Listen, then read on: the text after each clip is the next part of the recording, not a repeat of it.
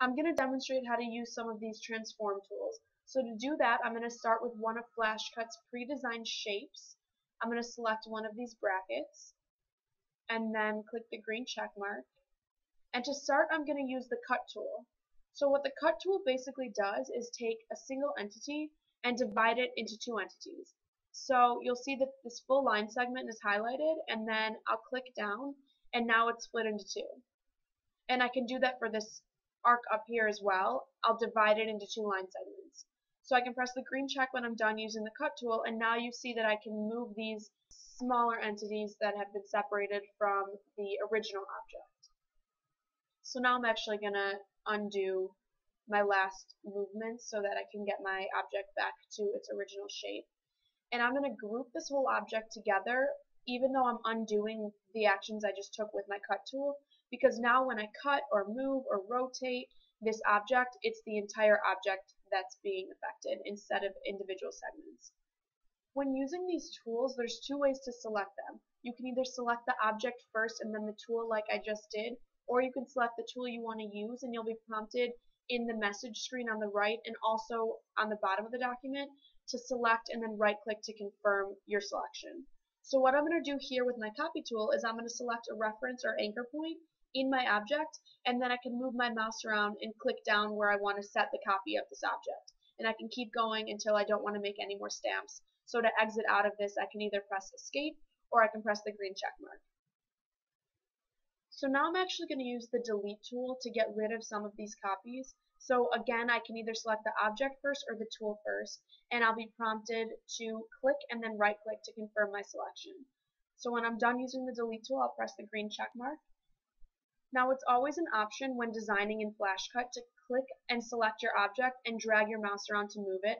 However, if you're looking for a more precise movement, there actually is a move tool in our transform tab. So I'll click on my move tool and I can use it in one of two ways. I can either select an anchor point like I'm doing here and then move my mouse around until I've reached my desired location, or I can select my move tool and then change my X and Y offset or my distance, or my angle. And once I've changed my parameters to my desired location, I can press the green check mark. Moving on to my rotate tool, I'll select my tool and I'm prompted again on either the right side of the screen or the bottom of the screen to select and right click to confirm my object. Now I can use two different methods to rotate my object. I can use my three point tool which allows me to select a center point, a source point nearby, and then my third point is my target point for the angle of rotation. So once I have that third point, I'll click down. The other way I can rotate is using my point and angle feature, which allows me to select a center of rotation point and then go ahead and change the rotation angle in my parameters. And once I've reached my desired rotation, I can press the green check mark. So now I'm actually going to go ahead and delete this object so I can demonstrate the mirror tool. So I'll select it and then press my delete tool. I'll select my mirror tool from the transform tab and I'll be prompted to select and confirm my object below or on the right side of the screen. So I'll select my object, confirm, and then I'm going to go ahead and check the copy object box because that indicates that I want to keep my original object as well as the mirrored object.